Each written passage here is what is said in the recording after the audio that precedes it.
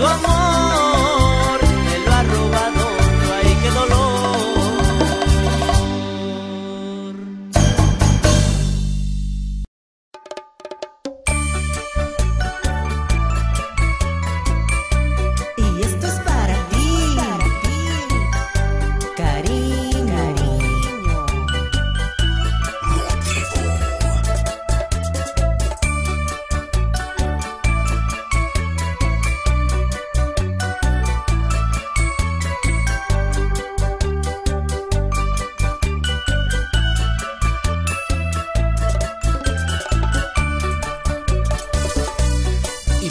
Y Lupe Méndez, allá en Guerrero.